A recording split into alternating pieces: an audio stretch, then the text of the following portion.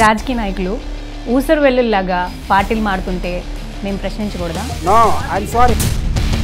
పదవుల కోసం ఎంతవరకైనా దిగజారిపోతున్నారు అని అంటున్నారు. అది మీ అందరికీ తెలుసు.